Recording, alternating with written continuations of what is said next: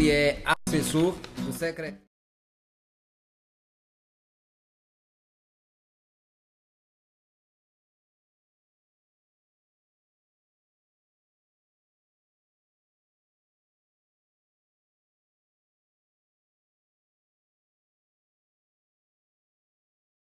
aí e nos assistir aí a estamos ao vivo.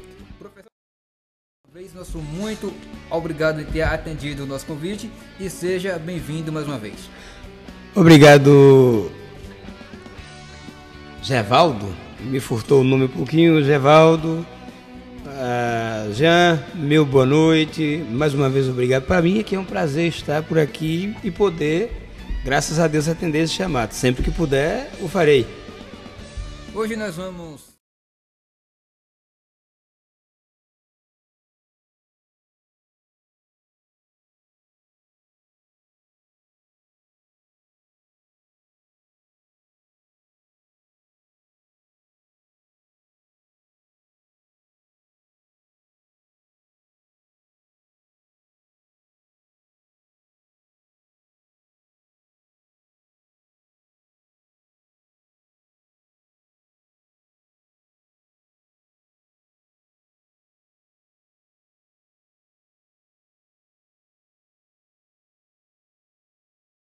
O dia 7 de setembro de 1822, ele é um divisor de águas da saída do Brasil do estado de colônia de Portugal, certo? Para o próprio império. É no Brasil, portanto, estabelecido a partir daquele, daquele dia, melhor dizendo, a partir do dia 6 de setembro, quando Bonifácio pergunta a Dom Pedro e leva o povo para sua praça e diz: Olha, o povo quer que tu fique. E mostra a ele as vantagens de ficar e estabelecer uma colônia, de certa forma, com determinada independência. E ele diz a célebre frase que todo mundo aprende desde a da segunda a terceira série: se é para o bem de todos e para a felicidade geral da nação, diga ao povo que eu fico. A partir do dia 6 de setembro começa ah, os passos para essa nova história, para essa nova fase. No dia 7, portanto, às margens do Ripiranga, o, o imperador dá o grito de independência e diz: Olha, lutaremos até morrer. Aqueles que estão comigo venham, vamos para a independência ou para a morte. Aí é o professor Antoniel, sabe tudo e mais um pouco sobre todos os assuntos, ele tem ampla facilidade em dominar. Mas professor, falando agora sobre o é, desfile que irá acontecer no próximo fim de semana, uh, o que traz de novo esse, esse 7 de setembro para os anos anteriores? Primeiro dizer que é, o 7 de setembro é um marco da cidade de Capim Grosso que celebra desde quando ainda é distrito. Então nós não podíamos de forma nenhuma, enquanto é, poder público, enquanto agente público, enquanto é, é, agentes da educação, deixar morrer isso que é memória. E segundo, responder a sua pergunta: o que é que tem de novo nesse 7 de setembro? Bom, nós teremos a mesma estrutura trazendo nossos meninos e meninas, nós teremos a mesma estrutura trazendo nossas fanfarras. Com um detalhe, nós estamos aí com média de oito fanfarras ou nove que partirão na, na, na, na avenida. Destas, Quatro são de Capim Grosso, ligadas à Prefeitura pelo Departamento de, de Cultura e uma ligada à Ação Social, e as outras das, das vizinhanças. Como já está se tornando um costume para nós, estamos trazendo de novo o tiro de guerra, que prontamente atendeu ao, ao chamado do prefeito Sivaldo quando foi homologado. E o que é que traz de novo? O tema. A cada ano que passa, a gente procura trabalhar um tema diferenciado, Gevaldo. E neste ano nós vamos trazer para a Avenida a Família como tema. Muito bem. Ah, e qual será, professor, o, o, trajeto? Muito bem. Primeiro, ainda falando do, tema, assim, o trajeto, o trajeto é o mesmo.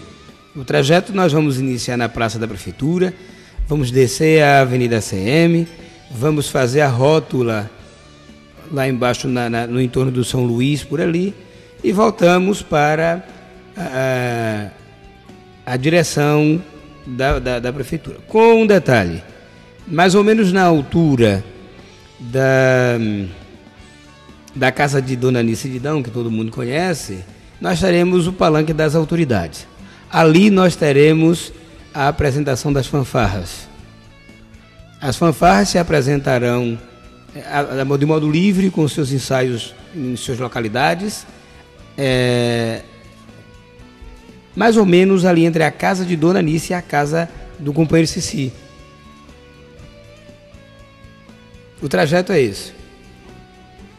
Falando, voltando um pouco é, atrás, fala, o senhor falou num, tema que traz de novidade ao tema.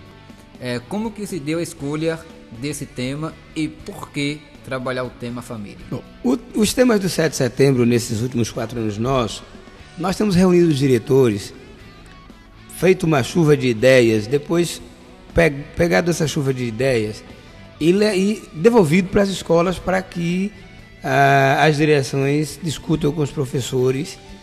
Porque assim, quem produz o 7 de setembro não é a, a secretaria, são os diretores, a quem, por, por, por sinal, eu quero agradecer bastante, os diretores e diretoras das escolas do município, que se empenham e muito, e só nós sabemos o quanto é desgastante para fazer essas festas, é, os professores e professoras da nossa rede que aceitam esse desafio de trazer a escola para a avenida com os temas. Então o tema ele é devolvido para a escola, para a escola discutir com os professores e a gente aprimorar. Esse ou aquele não encaixa, esse aqui está melhor, aquele não soa bem, esse aqui soa mal, aquele soa bem, até que a gente chega depois a um denominador comum e aí o tema volta para a Secretaria de Educação e a equipe técnica produz, juntamente com os diretores, eh, os passos necessários para ir para a avenida e as escolas executam. Em conversa, é, professor, com a professora Tânia, lá do Povoado do Peixe, ela dizia que o, o desfile lá naquela comunidade iria acontecer no próximo dia 28. Eu pergunto ao professor, já tem data estabelecida para as demais localidades? Bem, é, como Pedra é, Caiçara sempre foi uma tradição fazer o 7 de setembro antes da cidade, só que toda a vida foi desta forma, Caiçara está realizando amanhã, a partir das 4 horas, o seu desfile. Peixe e Pedras Altas, é, as duas suas localidades estão entre o dia 21 e o dia 28. Então eu quero acreditar que Pedras Altas é dia 21 e é no dia 28 mas os desfiles vão acontecer nas localidades.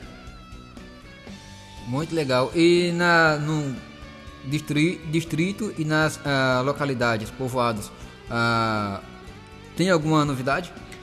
Bom, cada um deles escolheu temas diferenciados. Eu me lembro muito perfeitamente que em Pedras Altas é, o desfile vai trazer a formação do povo brasileiro, toda a trajetória da formação do povo brasileiro. O peixe agora não me lembro bem. Não me recordo bem se o peixe vai seguir o nosso que foi discutido aqui conosco ou se ele vai é, numa outra vertente. Agora não me lembro, eu vou ficar em dívida com você em relação a isso. Em relação ao nosso aqui do centro, e aí você dizia, e o tema, por que o tema?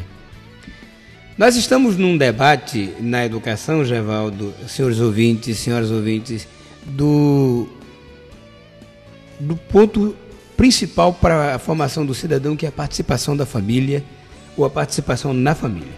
O que é que a gente tem percebido ao longo desses quatro anos na educação? Que nas escolas a, a presença, a assistência dos pais não tem sido satisfatória e que algumas situações, em algumas situações, os pais deixam a cargo da escola toda e qualquer responsabilidade sobre a educação do filho de modo que em algumas situações, algumas escolas, já houve situação de o pai chegar a dizer ao diretor: olha, tome conta, pois eu não aguento mais. Quando a gente então está num estágio desse, a família, enquanto organização social, está fragilizada. Nesse sentido, também vai ficar fragilizada a educação. Por quê? Porque a gente entende que a educação da moral, a educação dos bons costumes, a educação em si, ela é feita em casa, ela parte de casa. Agora, a educação profissional, a educação intelectual, a escolarização, aí a, palavra já diz por si, a escolarização, ela vem, ela vai acontecer na escola. Não é a escola que vai dizer ao menino não roube, é o pai e a mãe. Não é a escola que vai dizer ao menino não bata em seu colega, é o pai e a mãe. Não é a escola que vai dizer ao menino limpe a boca depois que come, é o pai e a mãe.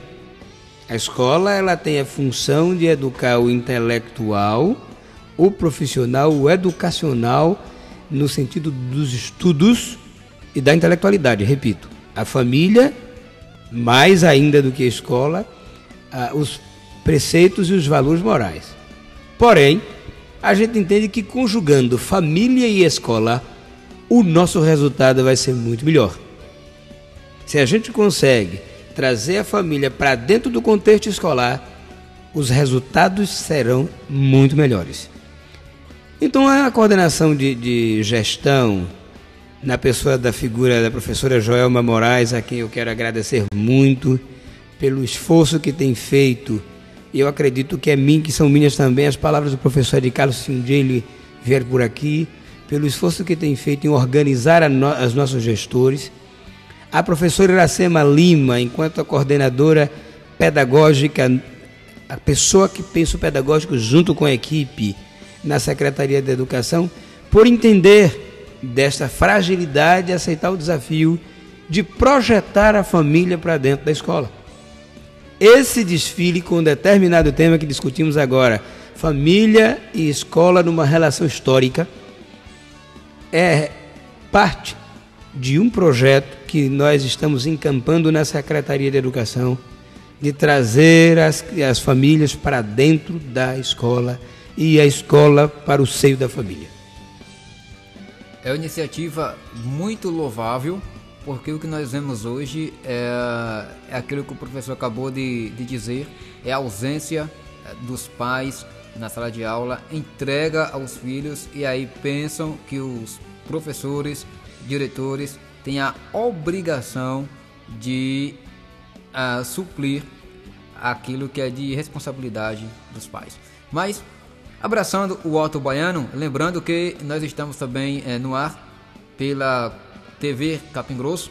Grande Otto, pode, aí, pode sintonizar e compartilhar. Mas quem também ouve a gente lá em Jacobina é a sogra do professor Antoniel, ao qual vou passar para, para o mesmo a honra de uh, dizer o nome e mandar aquele forte abraço. A minha sogra, a dona Nice Rosa, Helenice Rosa, a meu cunhado Adil, a minha cunhada Elisângela, meus sobrinhos queridos que estão em Jacobina, ali na, na Félix Tomás, escutando a gente, um beijo, um abraço. Infelizmente, nesse fim de semana não vou poder estar com vocês, dada esta demanda, mas meu coração e minha mente estão com vocês, tenho certeza disso. Falta o nome da digníssima. A, não, a minha, a minha, minha digníssima, a minha, meu, o amor da minha vida. Dona Rosane Montenegro, também está ouvindo. Um beijo, meu bem. Fazendo mexer, essa alma quer perdão. Amigo, tem horas que o homem tem que recuar. Mas, o, o professor, uh, voltamos ao nosso tema aqui inicial, deixando um pouco da, da nossa descontração, porque também faz parte. Sabemos que a Secretaria de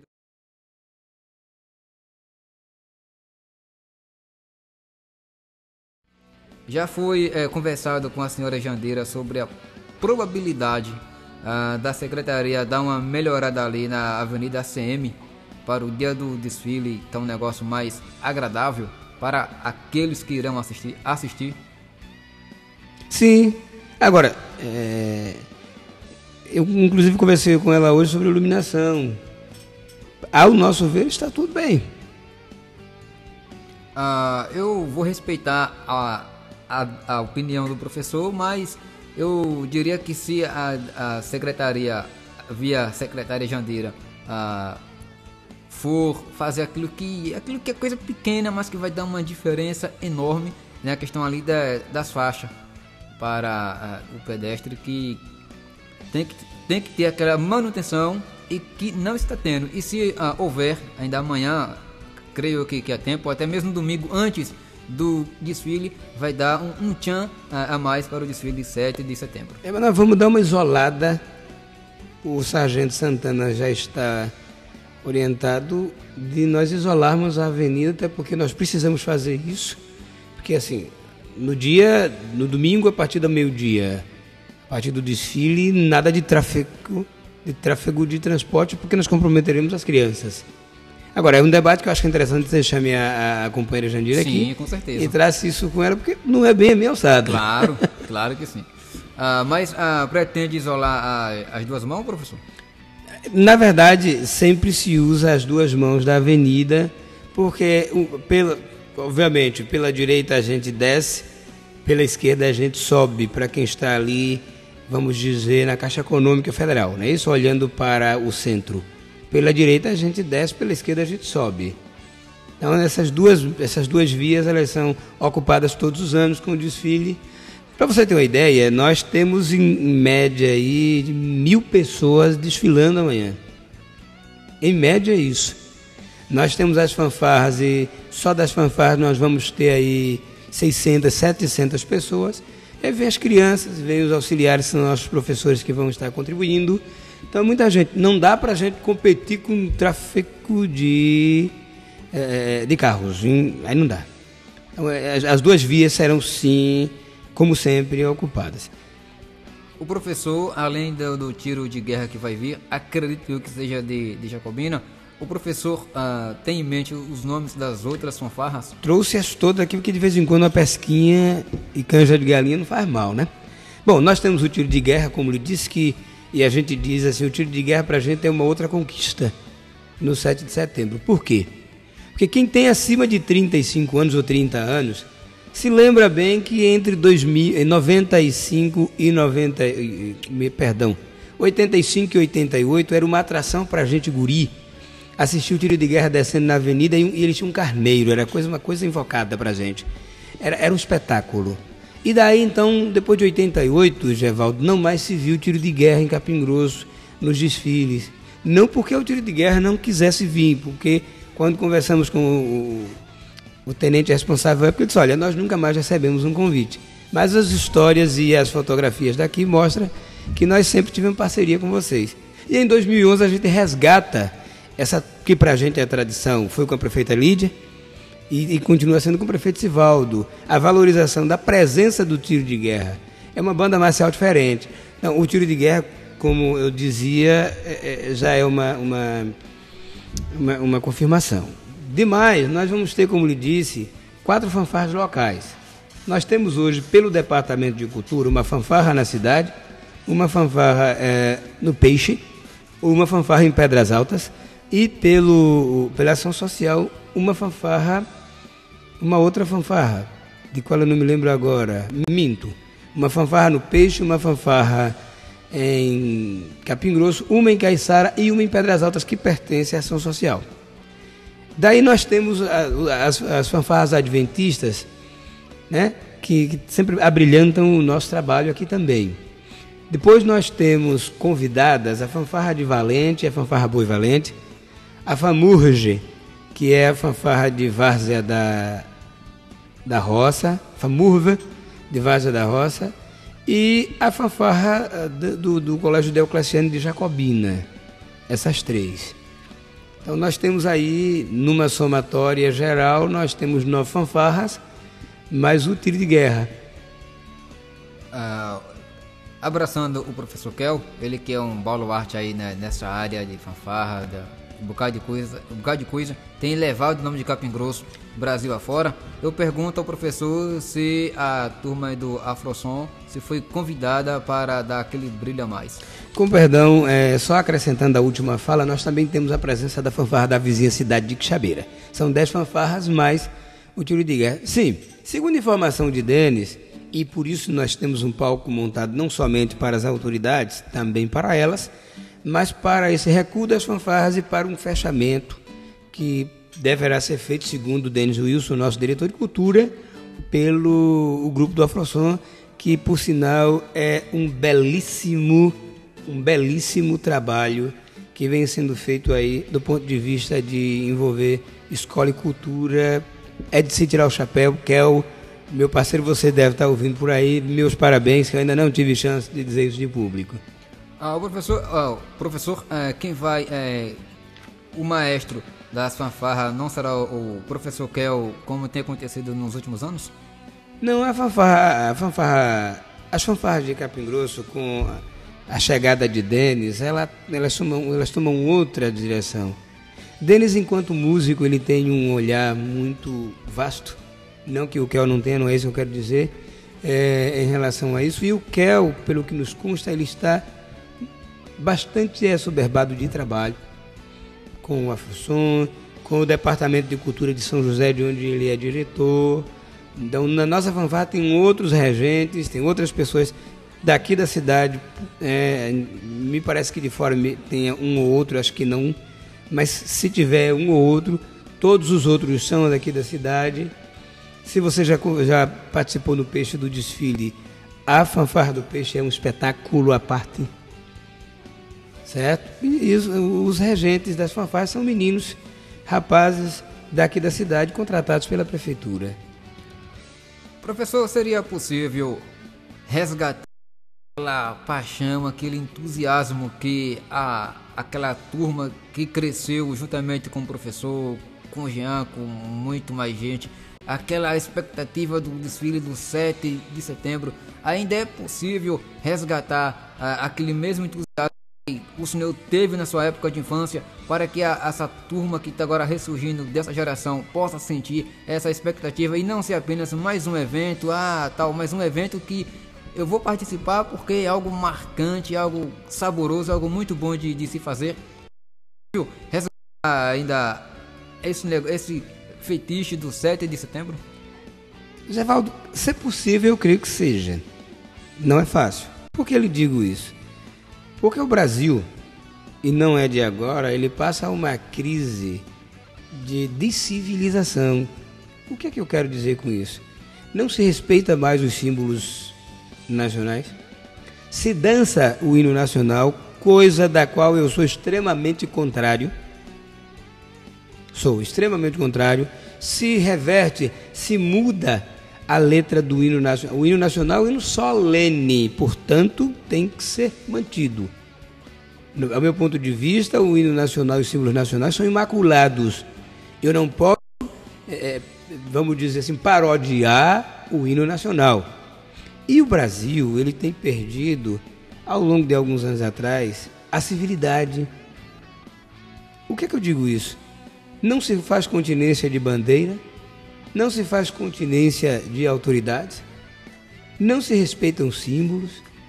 Quando eu vejo um cidadão queimar ou pisar uma bandeira, eu digo: olha, você está queimando e pisando o seu país. É o símbolo do seu país, é quem mostra lá na frente. Quem olha a bandeira do Brasil verde, amarelo, azul e branco, pode não conhecer o Brasil, mas olha, aquilo ali é o Brasil. É o símbolo maior que identifica a tua pátria, portanto tem que ter respeito. Eu penso que é necessário se começar e se encampar uma luta incansável para esse resgate. Mas é, não é fácil. É possível. É preciso fazer isso. Nós temos hoje um problema muito sério, e aí eu acho que a escola tem o papel, de, e a educação tem o papel de trazer isso de volta.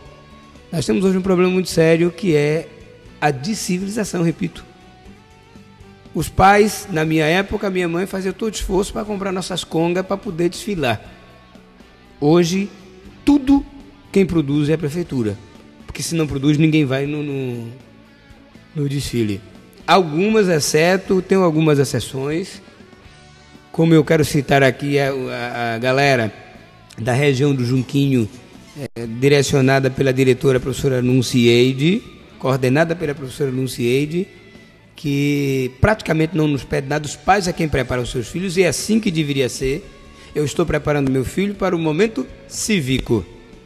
O 7 de setembro é um momento, não é só um feriado qualquer, é um momento cívico. Entende-se, portanto, que a partir dali o país começou a ter a sua liberdade enquanto país, se estruturar enquanto nação. Eu não sei se muita gente sabia, mas a ideia de Estado ela começa em 1822. Deixa de ser sesmaria, deixa de ser capitania hereditária e as porções de terra ao longo do, do, do território do Brasil já começa a, a ser dividido como, como Estado. Então, é, é, uma, é a partir de, de, do, do 7 de setembro de 1822 que o país toma uma nova forma.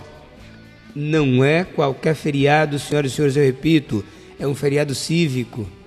Em outros países, como os Estados Unidos, por exemplo, as famílias se juntam, comemoram e tem sempre uma bandeira aberta na frente da casa. Vamos passar amanhã, no dia 7 em Capim Grosso, e ver quantas casas tem uma bandeira do Brasil. Então, em em resumo, a gente poderia dizer que nós estamos perdendo o nosso patriotismo. Sim. Muito bem, está é, tendo uma, uma reunião com a equipe.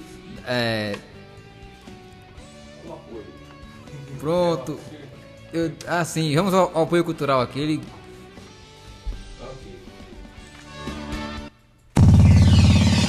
O sucesso está, está de volta, volta aqui, aqui na Contorno FM. Contorno FM.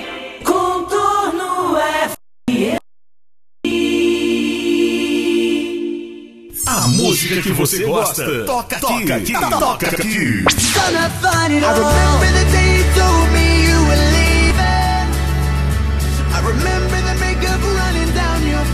Muito mais sucesso. Calma, a sua insegurança não te leva a nada. Eu quero ser seu homem, te fazer amada. Amar, amar você até você se amar. e me amar. Seu coração é de mármore. É que seu coração é de que você gosta, toca aqui, toca aqui, toca aqui. Essa cabeça, mete o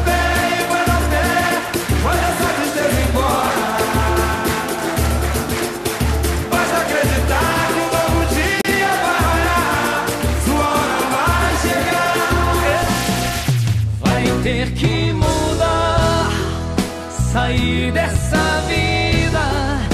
Te quero por inteiro, eu não te quero dividir. Todos os estilos, para todos os gostos. Rola aqui. FM.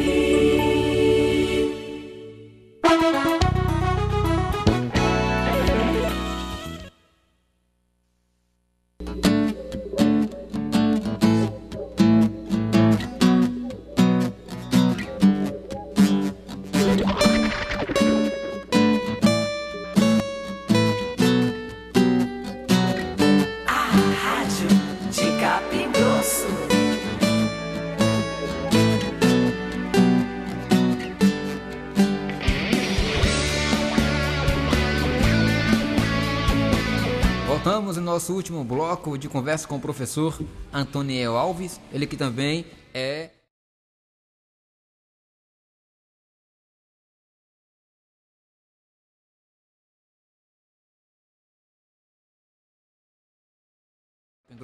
meu amigo jornalista Eric Rios, aquele abraço. Estamos aí pela TV Capim Grosso, retransmitindo nosso bate-papo com o professor Antoniel. Professor, Uh, qual será a ordem uh, do desfile do próximo domingo? Muito bem, é, é, como ele disse, nós vamos trazer a trajetória da família dentro do desfile, não perdendo, obviamente, os toques históricos, até porque desde quando Deus cria Adão e Eva, cria para o homem o aspecto de família. Uma família é um homem e uma mulher que se une. Não precisa ter filhos para ser família, já é família ao se unir ao se unir no matrimônio ou qualquer tipo de relação que o homem e uma mulher é, dependa ter de junção, de união, já se forma uma família. Correto? Correto. E qual será, professor? A não sei se o senhor iria acrescentar. Já aproveito e já lhe pergunto o cronograma do desfile. Pronto, então nesse sentido a gente quer trazer a família nessa trajetória toda até os tempos atuais e de uma forma bem diferente, bem original, diria eu. Bom, nós vamos ter algumas alas como é de costume, né?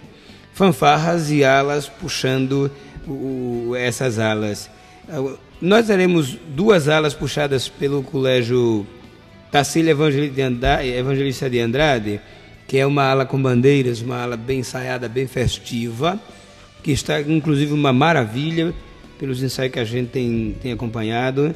E a família, a, a, a, a vai trazer a família no, no, no, no convivência do período colonial da, do Brasil. No Brasil colônia, como era o estilo de família, como se organizava, vai estar na Avenida com Tarsília. O Colégio Edivaldo então, vai trazendo aí a família num período posterior, quando Dom Pedro grita a independência em 822, aí começa a função do Edivaldo, trazer a família na, no, no, período imperial. Quais as mudanças que a família sofre, qual a conjuntura de família desta época. E eu posso lhe dizer que a professora Socorro e a professora Janaí estão organizando isso com muito primor com suas equipes, não tenho dúvida disso. É, aí nós vamos na sequência para a assistência social que vai trazendo, a galera da ação social vai trazendo a família no contexto de proteção. As leis e códigos e decretos que protegem, que firmam a família. É, o, o, a Escola Oswaldo vem trazer o, o, foco do nosso tema do projeto, que é escola e família. A Escola Oswaldo vai contextualizar esse projeto, o, nosso projeto dentro da avenida, já nessa contemporaneidade. Escola e família qual, como está essa relação? Qual é a importância de, de um apoiar-se no outro, do outro apoiar-se no um? Aí vai ser com a, a professora Jácia e a professora Telma, é, lá da, da, da, Escola Oswaldo e da Escola Zumira. Ah, depois nós teremos os valores que sustentam a família. Falávamos há pouco que nós estamos perdendo civismo. E antes também falava de que a família ensina os valores, a escola ensina os saberes digo esses saberes é, da escola. E aí a, professora Loide e a Escola Francisco vem trazendo esse contexto de, de, de, de, valores, né? Eu me lembro que o teu pai e o meu pai, quando a gente pega, não se pega o que é dos outros, lá viu, lá deixe. Assim nos ensinaram. Isso é ensinar valor. Não rouba, isso é ensinar valor. Não xinga, não mata, isso é ensinar valor. Né? E isso começa na família. Junto com a aula na Escola Francisco, a gente tem uma, uma galera do CAPS que traz uma reflexão. Ensinar valores, mas também ensinar respeito. Né? O, o CAPS vem com uma ala orientando e clamando para que a gente rompa com os preconceitos que há nas famílias, que há na sociedade. Essa semana mesmo eu vi uma reportagem de que uma companhia de aviação havia barrado o menino de viajar porque tinha uma doença de pele. Um detalhe, não era uma doença contagiosa e a criança não viajou. Esses e outros preconceitos precisam ser rompidos para que a gente consiga reestruturar a família. Ah, uma outra situação. Ah, pronto, continuando, nós temos agora o contexto de casamento. Como é que, que começa o casamento? Primeiro a gente conhece, a gente gosta, a gente paquera, a gente namora, a gente noiva, a gente casa e lá vamos de lua de mel. Não é assim? Aí como, como diria meu avô, desça a ripa. Teoricamente seria assim, mas hoje está tudo inverso. Bom, então aí nós temos as escolas Otaviano Ferreira, as escolas do Núcleo C, da professora Nuceide, lá no Junquinho, a escola Cândida Vilas Boas, do nosso grande companheiro, o professor Edvan, um abraço querido diretor do professor Edvan, e temos a creche Alegria Infantil da nossa querida professora Patrícia, né? Patrícia de Tiago, como eu costumo chamar, e a Escola Vicente da nossa amiga Denise, trazendo esse contexto de namoro, noivado, casamento, é, boldas e boldas de ouro, boldas de prata, todas as boldas. Então, um desfile com um tema diferente, que inclusive encontrou um pouco de resistência a priori com o nosso povo, de coordenação, de direção, mas que depois nós fomos enxugando. Gente, se a gente quer falar da família, que a família nos aceite e venha para dentro da escola, não é só matricular o filho e levar e buscar. É matricular o filho, levar e buscar, mas também olhar a nota do filho, mas também olhar a estrutura da escola, mas também consertar uma tomada, mas também capinar um, como um pai que zela do espaço onde o filho está a metade do seu tempo como amigo da escola. Então, se a gente quer que a família entenda a escola nesse, desse, desse ponto de vista, nós precisamos então trazer a família para o nosso processo. E alguns diretores me dão, é, Gevaldo, a grata notícia de que alguns pais também desfilarão. Isso é muito bom. Para alguns será um momento épico, coisa que não tiveram na infância, adolescência e juventude, vão ter agora. Isso é muito bom. Bela iniciativa aí é, por parte da organização aí do, desse desfile 7 de setembro. Ah, professor, só para finalizar, ah, o horário do desfile está previsto para que horas? Bem, o, o desfile vai ter dois grandes momentos. Um primeiro momento que é a, a, a descida das duas bandas da Adventistas e os Desbravadores. Porque os Desbravadores, eles são por si um desfile à parte. Já parou para observar a beleza da organização daqueles meninos? São bem organizados, diga-se de passagem. Então, eles irão anteceder em uma hora aproximadamente a saída do desfile e logo em seguida nós teremos o desfile. O que significa? Significa que às três horas nós já queremos estar com os desbravadores desfilando na avenida e retornando. Para as quatro horas, no ponto estourado, nós estamos partindo com os nossos meninos oficialmente o desfile do município. Como disse, ali na altura mais ou menos do, do- da loja do amigo Vicente, próximo à casa da, de, de Dona Nícia, a mãe do amigo Paulinho, nós vamos estar com o palanque das autoridades, né?